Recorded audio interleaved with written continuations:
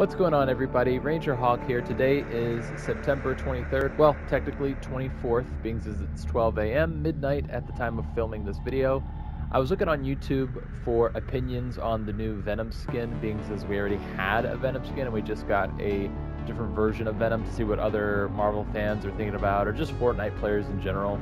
See if they like it, prefer it for the old one, to understand why it was a separate skin, style, whatever. Just wanted to hear thoughts on other people, but every video I've been seeing are just showing gameplay on the skin, and the creator doesn't really know much about the character or even the Marvel Universe, so I figured I'd uh, put my two cents in, being as I know a bit about Venom in the Marvel Universe. So, about 10 months ago, let me go to my locker and show it that way. About 10 months ago, we got this version of Venom. This is I'm to call the comic book version of Venom with his iconic logo on his chest. Got a little bit of tendril action going on around his arms, none by the legs, etc. You have two styles on this skin. You have the default style, then you have the extreme style that has the tendrils raging all across his body. And the texture of his body is actually noticeably different. You can actually see like little waves going up his shoulders and whatnot and across his chest. He looks really good on the detail of his skin. Pretty cool teeth are nice pearly whites. So this is like the comic book version of Venom. I kind of wish they had like an Eddie Brock version or something like that. And then along with this specific skin, you get the built-in emote, We Are Venom.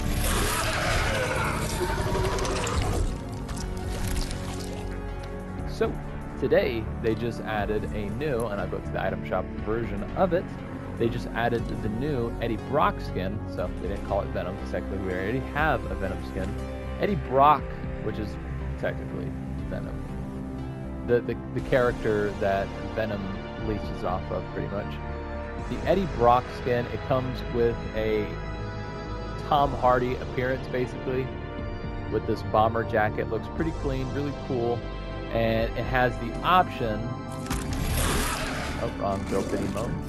Venom Unleashed basically an option where you have a built-in emote that changes the style. So you can change to the Venom style and back to the Tom Hardy, Eddie Brock style whenever you like, in game or in lobby. Or you can just, when you're in your locker, once you own the skin, you could also uh, manually select which style if you want to just constantly switch from the Eddie Brock to the Venom. Maybe you just want to play just Venom off the bat. Um, so what does this new version of Venom come with? So we got the Tendrils of Venom. We have a Symbiote Scythe, similar to the Symbiote Slasher, just this one's more axe-shaped, whereas this one's kind of just a blade. And that's basically it for the Venom bundle. You have the option separately to get the Symbiotic Veil, which is in the shape of a spider. Because technically. Venom is a Spider-Man antagonist. And then we have the Symbiote Trail. And it's a really nice contrail that works with uh, not just the new Venom skin, but the old Venom skin, and also some of the other skins, like, for example, let me go down, find it.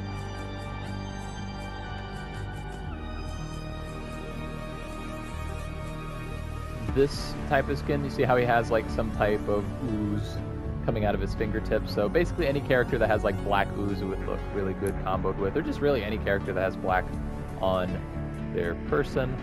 So back to the Venom conversation. So I actually think it's pretty cool that they added this Eddie Brock version of Venom and you have like this movie version as well as the comic version. I think that's really cool. Makes me wonder if we're going to get a theatrical version of Carnage as well. That's going to be a separate skin in the item shop that you have to get being the current Carnage that's in the Battle Pass doesn't have the option to basically morph back into Woody Harrelson's character. Um, personally, it, I think it's really cool that you have a huge discount. So if you own the original Venom bundle, that includes, you know, Venom, his Harvester, um, Back Bling, etc., then you'll actually get this new bundle for 800 V-Bucks. So it's a 4,000 V-Bucks total worth, and you're just getting it for 800 V-Bucks. Um, I spent a little bit more than that because I wanted the symbiote trail. I didn't technically want the symbiotic sail because... Alright, I'll go over the cuz in just a moment. So one thing I'd like to go over, on the comic book version of Venom, we have his iconic uh, logo, kind of like Spider-Man spider symbol across his chest. Now, in case anybody's wondering why the Eddie Brock's version of Venom doesn't come with that is because Venom basically learns abilities, powers, traits every time he connects to a different host. So if he connects to a host, he gets their abilities and a piece of their appearance. So Eddie Brock's version, which is this is the movie version, hasn't encountered Spider-Man yet. Therefore, he doesn't have any of Spider-Man's powers yet, and he doesn't have the iconic logo on his chest. Personally, I think the skin looks pretty clean without that. You can kind of notice his abs in the more like character definition. Uh, similar to the extreme version of the original comic book Venom, he has like a bit of waves that go throughout his body. Um, like if you'll notice, if you look at the top of his head, you'll notice that the cranium shape just randomly changes because it's like the, the ooze is alive and moving. I really like that little detail. Um, the veins across his chest are pretty cool. I'm, I'm, gonna go back to the original Venom skin so we can see the difference in like ab definition. It's like two completely thing, different things right here. It's almost like this Venom has like gills in his stomach, where this version just has like great physique. Uh, another big difference on the comic book Venom and the theatrical Venom is that comic book Venom has shoes on, or at least like shoe gill things, whereas the theatrical version has his bare feet out.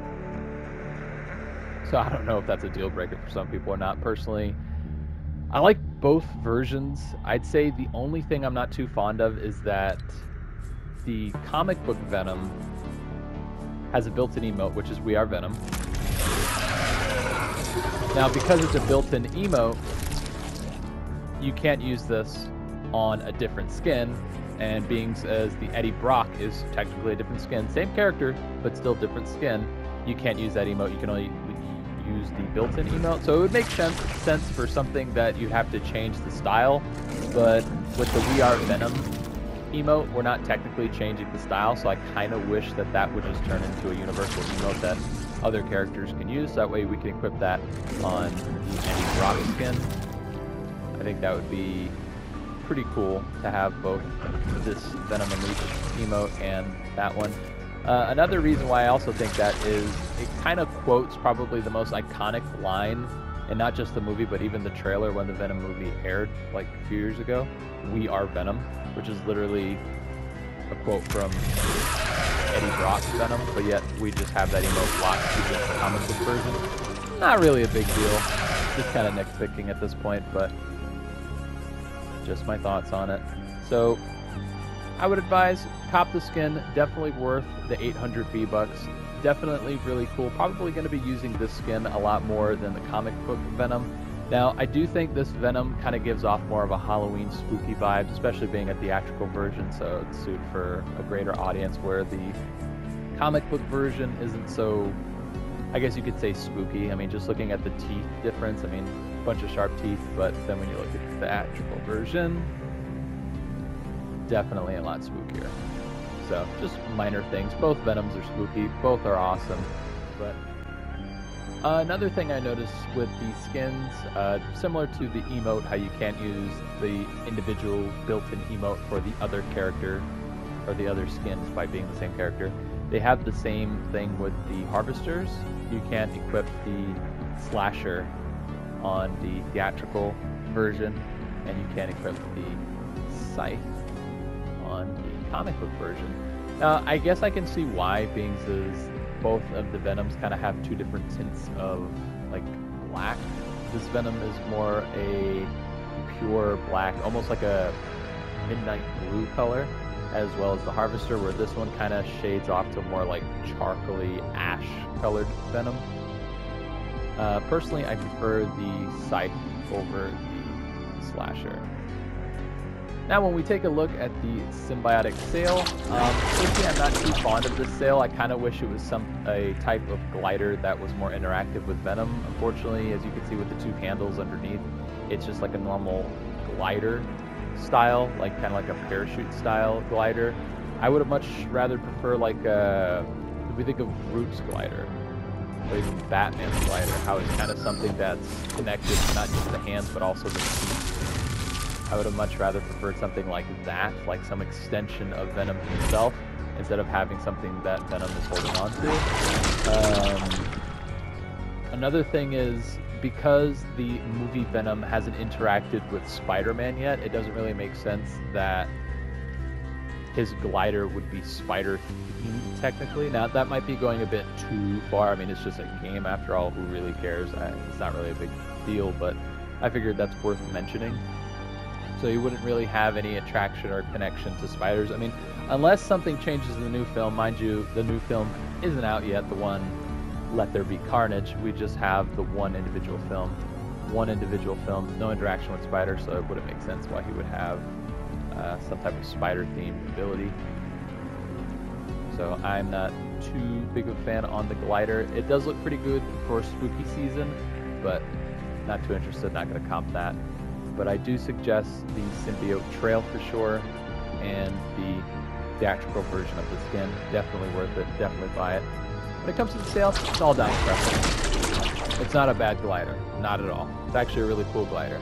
I'm just not interested. And that's pretty much going to conclude this video and my thoughts on the Venom skin. So thanks you guys for watching, and I hope you have a good rest of your day or night. Peace.